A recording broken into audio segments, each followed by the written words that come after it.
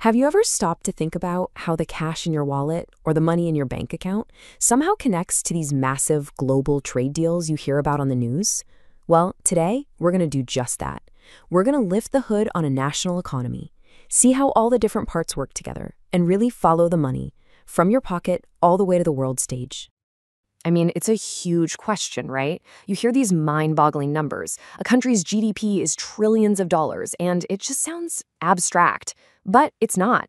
Every single one of those dollars represents something real, something that was produced or a service that was performed. And all that money has to go somewhere. It has to end up in someone's hands.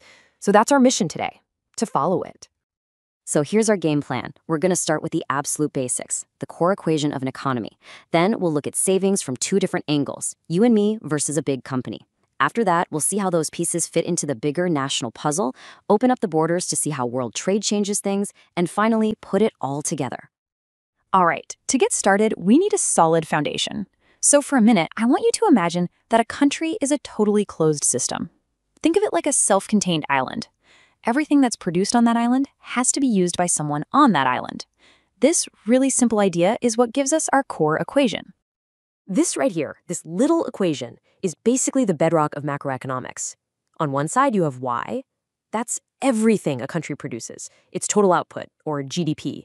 And on the other side, you have the only three places that money can possibly go. C is for consumption. That's people like us buying things. I is for investment. That's businesses building new factories or developing new tech. And G is for government spending, you know, roads, schools, defense. And that's it. Every single slice of the economic pie is accounted for. Okay, so now let's zoom in on a really crucial part of this whole machine saving. Saving is what fuels investment and growth down the line, but what saving means for you is actually pretty different from what it means for a huge corporation. Let's break down both sides of that coin.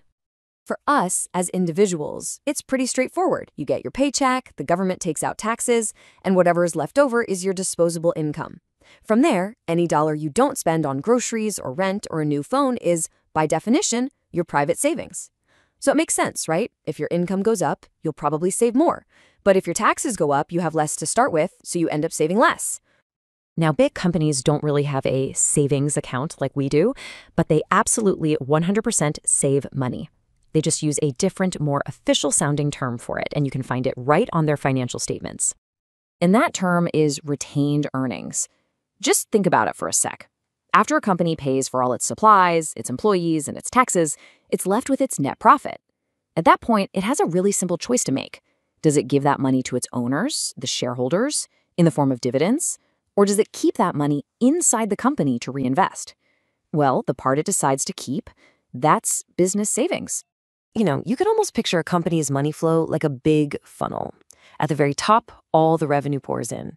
As it trickles down, chunks get taken out for costs and expenses and taxes. What finally comes out the bottom is the net profit. That profit stream then gets split. The part that flows out to the shareholders is the dividend, but the part that's kept inside the company's own piggy bank, that's its retained earnings. That's its savings.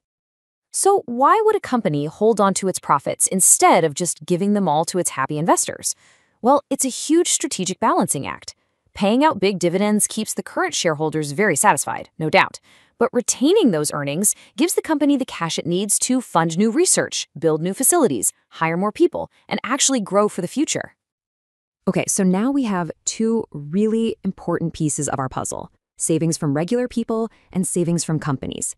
So let's add the third and final piece, the government, and see what the complete picture of a nation's total savings looks like. It's actually pretty simple. National savings is just what you get when you add up all the savings in the entire country. You take the private savings, you add the business savings, and then you add the government savings. Now, here's a key thing. If the government spends more money than it brings in through taxes, its savings is actually negative. We call that dis-saving or running a deficit. But you add all three of those up, and you get S, the total national savings. Okay, let's jump back for a second to our original fundamental equation for that closed economy, y equals c plus i plus g. Now, if we just do a little bit of simple algebra, just move the c and the g over to the other side of the equation, we're left with investment, i, all by itself. So let's look at what's on the left side. What does y minus c minus g actually mean? Well, it's the country's total output minus everything that was immediately used up by people and the government. You could call it the national leftovers. And what do we do with leftovers? We save them. This, right here, is the very definition of national savings. And here is the big reveal. It's a really cool insight.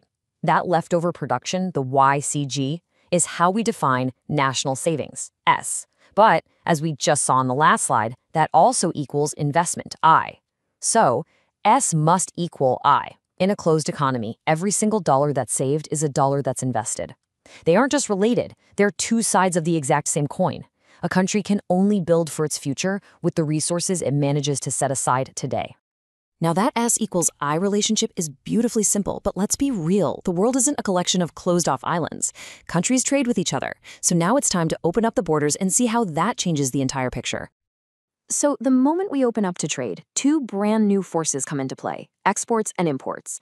How much we export depends on how well the rest of the world is doing. If their economies are booming, they buy more of our stuff. But how much we import depends on how well we're doing. If our economy is strong, we buy more of their stuff. And of course, both are massively influenced by the exchange rate. Now, economists love to simplify things, so they boil this whole relationship down into one single number, called net exports, or just NX. All you do is take the total value of everything your country sold to the world and subtract the total value of everything it bought from the world. If that number is positive, you've got a trade surplus. If it's negative, you've got a trade deficit.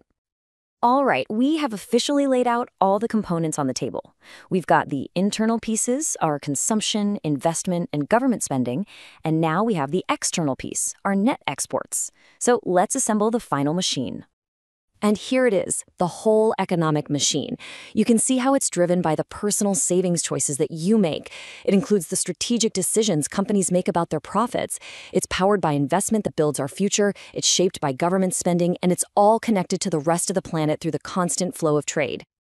And really, that's the core idea to take away from all this. The economy isn't some abstract, invisible force.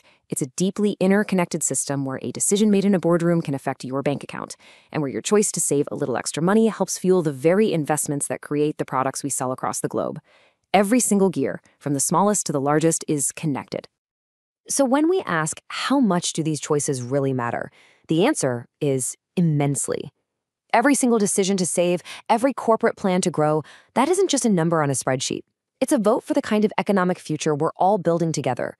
It's the mechanism that turns the discipline of today into the innovation of tomorrow, shaping the world we all get to live in. Thanks for tuning in.